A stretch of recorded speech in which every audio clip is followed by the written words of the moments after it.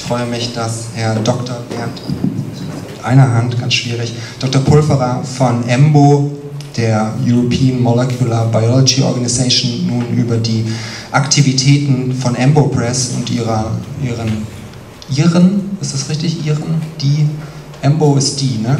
Die EMBO im Deutschen, schwierige, schwierige grammatische Fragen. Auf jeden Fall die, ähm, die Aktivitäten von EMBO zur Förderung des äh, offenen Zugangs zu Forschungsdaten beschreiben wird.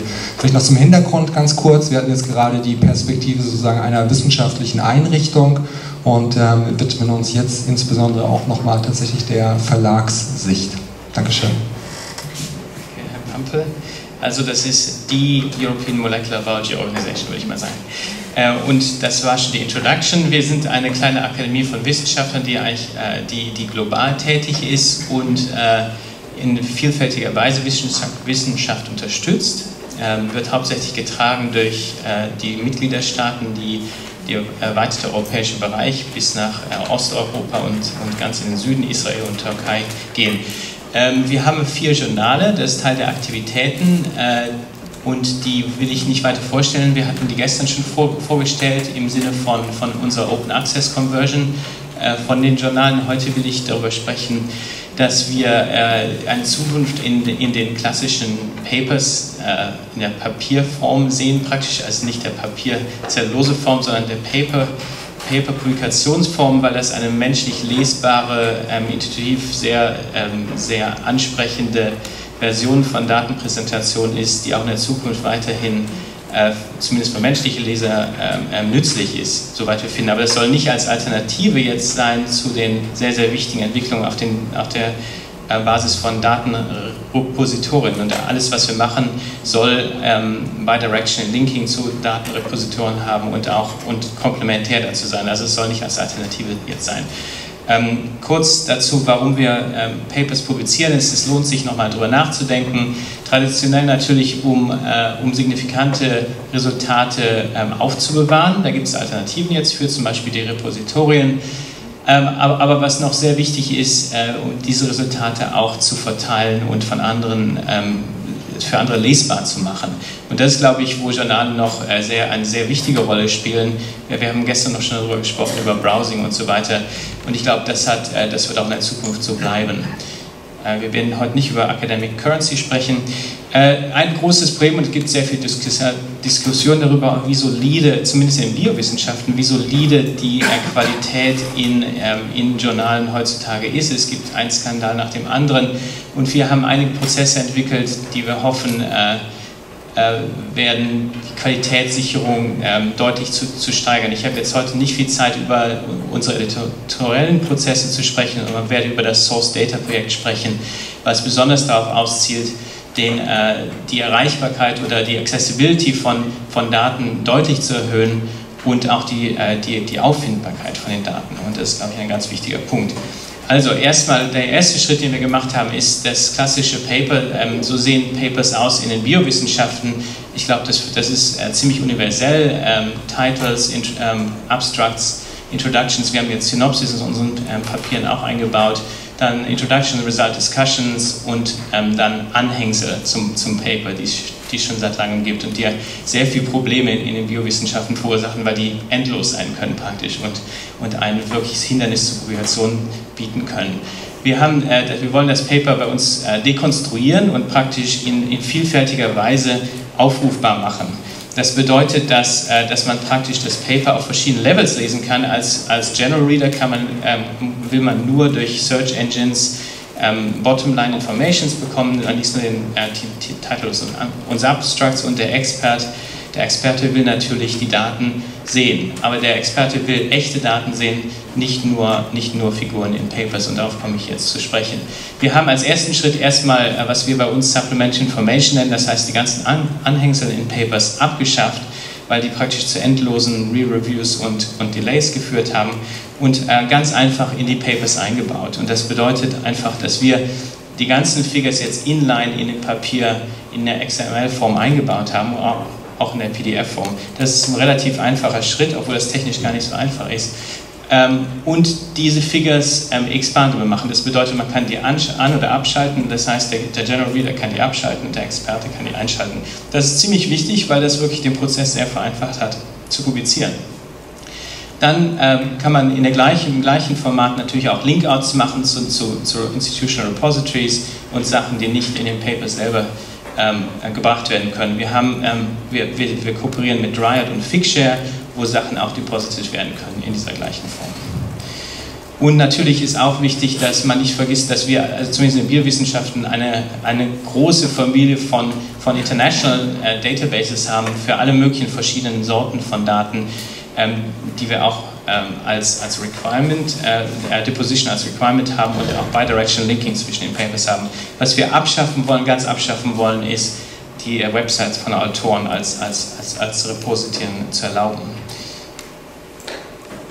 Jetzt will ich auf die Figures noch kurz eingehen. Äh, das Problem in den Papers, zumindest in Biowissenschaften, ist, dass die Figuren eigentlich über, äh, nicht nützlich sind. Das bedeutet, sie sind eigentlich eine schwarze, eine Black Box, äh, die ähm, hauptsächlich zur Illustration des Textes dienen. Das bedeutet, dass, ähm, dass, die, dass die hauptsächlich illustrativ sind. Die sehen so aus, sehr schön farbig und, und ähm, und bedeutungsschwanger, ähm, die unterstreichen stark die Conclusions, die gemacht werden im Paper, aber sie sind praktisch nutzlos, wenn man wirklich was machen will mit denen.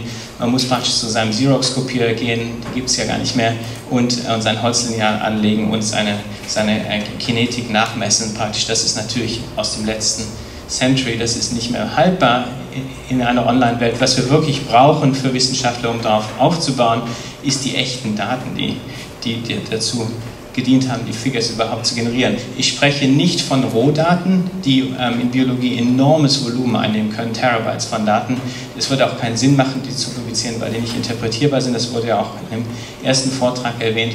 Was wir wollen, ist die Daten in die, äh, die Source-Daten in das Paper einzubauen. Das bedeutet, die Daten, die dazu verwendet wurden, die Figures zu generieren. Das sieht dann so aus, dass man zum Beispiel eine Barchart da unten links hat und einfach in der Figur unten klickt und und die Rohdaten in Excel-Form zum Beispiel sehen kann. Das ist äh, sehr gut. Äh, wir glauben, dass es ein wirklicher Author Service ist, weil das äh, erlaubt den Autoren, ihre Daten sehr nah an dem, an dem äh, Publication Output mitzuarchivieren. Das bedeutet auch in der Zukunft, wenn irgendwas passiert mit dem Paper, dass man genau nachvollziehen kann, was passiert ist.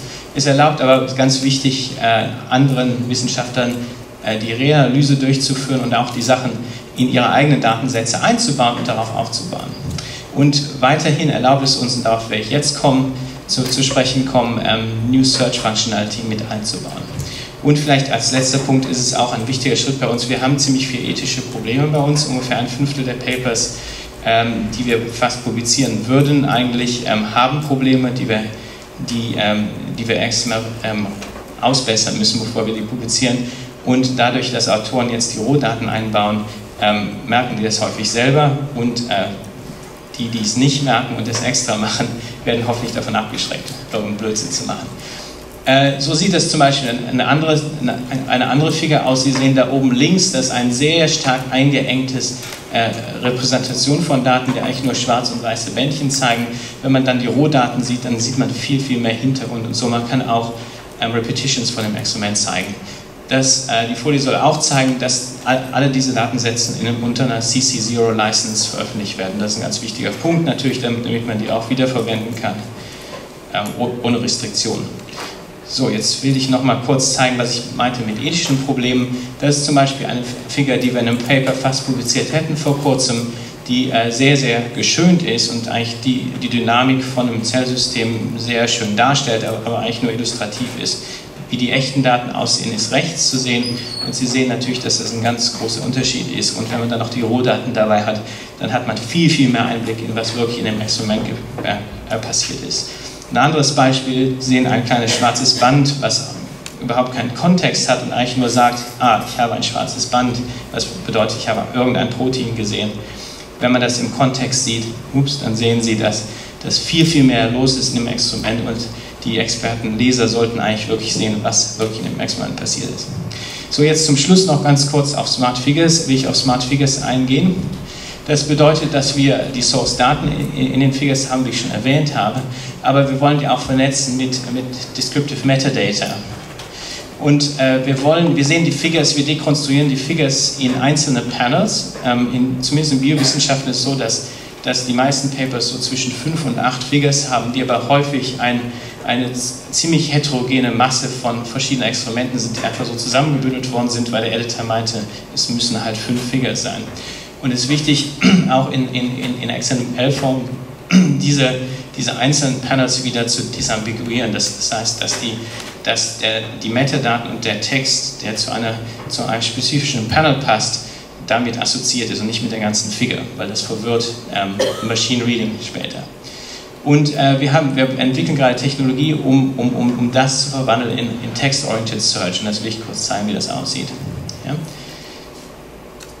Das bedeutet, dass wir äh, praktisch, äh, also wenn die, das ist jetzt eine, eine Demonstration, das, keine, ähm, das existiert noch nicht, das ist gerade in Entwicklung.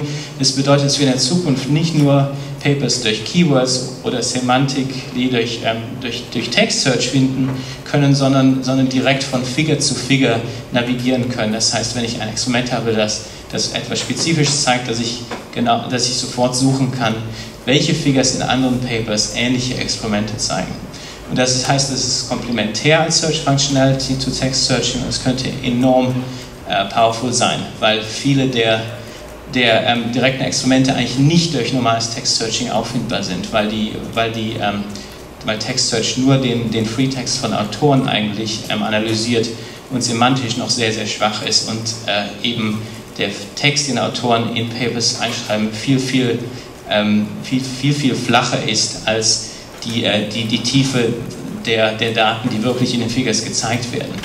Ähm, ich habe jetzt nicht Zeit, genau einzugehen, wie das funktioniert, aber wir, haben, wir, ent wir entwickeln ein Authoring-Tool, das praktisch ähm, Annotations erlaubt, ähm, das, das Entity Tagging erlaubt und praktisch das, das ähm, Assays, Experimental Systems, Biological Entities und dann Perturbation Observation Designs, das sind so wie klassische Experimente bei uns in Biologie passieren, ähm, das ist erlaubt, das zu codieren in Machine Readable Form und dann als Output äh, visuell dem Leser zeigt, was das Experiment ist, was da oben gezeigt ist, als Daten praktisch.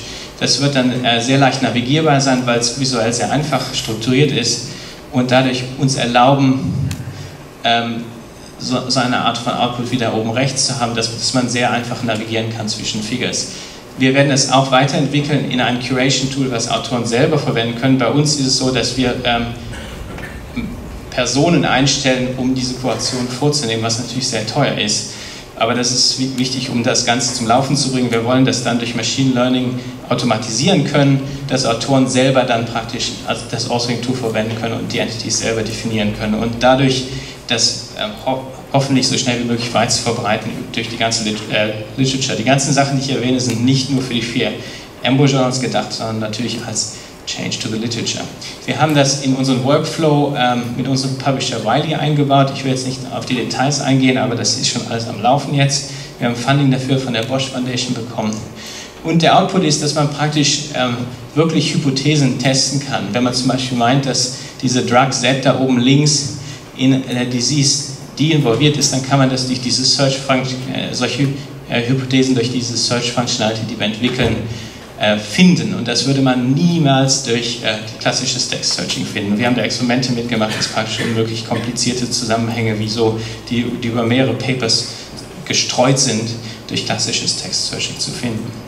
Jetzt kurz, um äh, aufzuhören, äh, würde ich noch sagen, dass wir auch interessiert sind auf dem Level von den einzelnen Experimenten, das heißt die, die, die, die Figure Panels, dass wir die viel dynamischer gestalten wollen und auch ähm, äh, viel, viel granulärer gestalten wollen, individuelle äh, Author Contributions angeben wollen. Das heißt, dass Autoren individuell, bei individuellen Experimenten sich eintragen können und sagen, ich, ich war verantwortlich für das und das Experiment, dass wir die einzelnen Experimente auch mit den, mit den Methoden in, in dem Paper direkt vernetzen wollen und die Source-Daten natürlich hinter den einzelnen Experimenten auch bringen. Das bedeutet, dass es viel, viel klarer ist, wie genau ein Experiment, ein spezifisches Experiment gemacht worden ist, von wem es gemacht worden ist und was es bedeutet und wer, wo die anderen Experimente, in welchen anderen Papers ähnliche Experimente sind in, in, der Zukunft. Das ist, glaube ich, eine wichtige Entwicklung.